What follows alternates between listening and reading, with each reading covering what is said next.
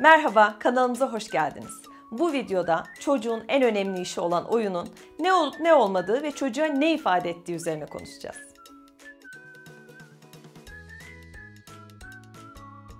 Öncelikle oyunu bir anlamaya çalışalım. Çünkü anne babaların sık sık çocuklarını oyun oynamaları için yönlendirdiklerini duyarız. Hadi legolardan ev yap. Hadi şimdi bize bir araba çiz gibi cümlelerle sadece ortaya çıkacak ürüne odaklanıp asıl önemli olanı yani çocuğun keyif almasını ve yaratıcı olmasını görmezden geliyor olabilirsiniz. Bunun tam tersi davrandığınızda ise çocuğu yönlendirmeden o ne ile oynamak istiyorsa ona fırsat verdiğinizde onun yeni şeyler öğrenmesini ve yaratıcılığını geliştirmesini destekleyebilirsiniz. Daha açık olalım mı? Oyun nedir onu konuşalım. Oyun nedir? Zevklidir, eğlencelidir, ciddi bir uğraştır. Çocuğun işidir.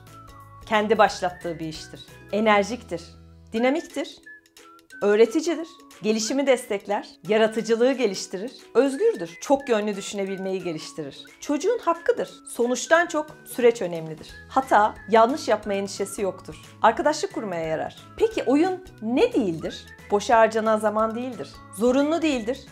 Sıkıcı değildir.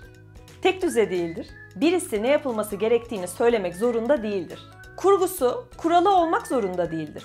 İyi, kötü, doğru, yanlış değildir. Rekabet etmek, kazanmak, kaybetmek değildir.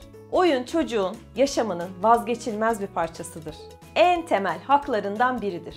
Ve her çocuğun istediği oyunu oynama hakkı vardır.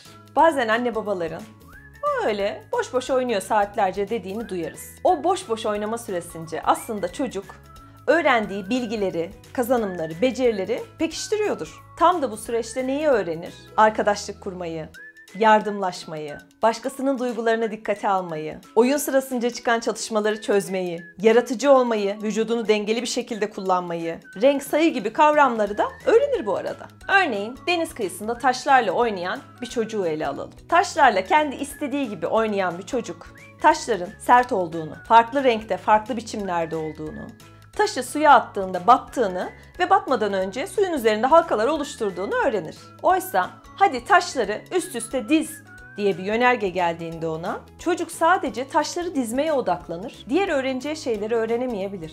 Oyunun faydası sadece bu da değildir. Çocuklar oyunları ile bizimle iletişim kurarlar ve bize çok şey öğretirler ve gösterirler. Onları üzen, sevindiren, heyecanlandıran olayları oyunlarına taşırlar.